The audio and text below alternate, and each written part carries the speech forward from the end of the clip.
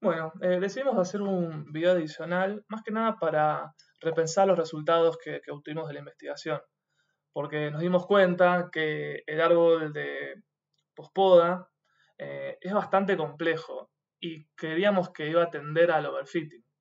Sin embargo, tuvo un score en el, en el conjunto de test tres veces mayor al del árbol de regresión con optimización bayesiana o con prepoda. Eh, por lo tanto, intentamos en estos videos, en este último video, perdón, eh, analizar qué puede estar sucediendo. Lo primero que saltó a la vista es que las variables probablemente sean muy parecidas. Obviamente que las variables espaciales son repetidas constantemente, ya que simplemente las obtenemos a partir de la estación en la que se ejecuta el, paso por el molinete. Entonces la latitud, la longitud, las escuelas, entre otros datos, simplemente se repiten. Pero algo que por ahí no tuvimos tan en cuenta fueron las variables temporales. Eh, uno podría pensar que si un año y otro se parecen mucho en sus horas picos, en qué momento del día hay mayor flujo de pasajeros, eh, un árbol complejo simplemente se memoriza ese año que es igual y después en el conjunto de test va a decir, ah, estos datos son iguales a los que tengo en mi conjunto de entrenamiento. Vamos a devolver lo mismo. Esa forma, un, árbol que tendría el overfitting, tiene el overfitting, pero es útil para predecir un, año que es igual al otro. Profundizando un poquito, eh, hacemos un breve análisis de, las variables temporales y vemos, por ejemplo, que si bien del 17 al 21 los datos varían bastante, obviamente que tenemos acá el efecto de la pandemia, en realidad el 2022 y el 23 son prácticamente similares y el 2023 es el que usamos para testear nuestro algoritmo.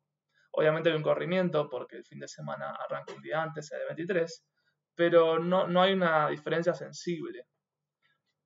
Después comparando entre la hora del paso por el molinete y el día del mes, en el mes de septiembre, tampoco hay mucha variación. Vemos que hay una hora pico entre las 7 y las 9 y otra entre las 16 y las 18. Esto es sumando todo el volumen de pasajeros en toda la red de subterráneos. Eh, entonces, ¿qué pasa, por ejemplo, en una estación particular? Bueno, tomando la estación con mayor volumen, que es la estación Constitución, vemos lo mismo que en el resto de la red. El 22 y el 23 se parecen mucho. Y profundizando por hora, vemos que son prácticamente calcados los movimientos en el 2022 que en el 2023. En conclusión, ¿qué podemos decir?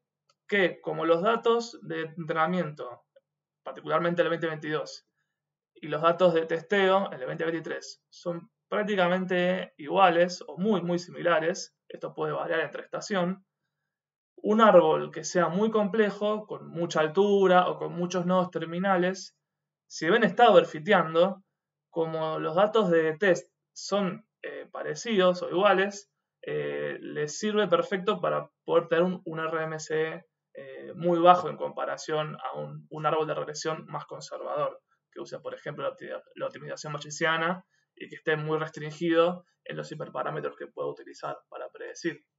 Em, así que bueno, agregamos esta, este análisis adicional como para poder tener en cuenta qué sucede para que un árbol tan complejo y que tenga el overfitting funcione tan bien para nuestro caso de estudio.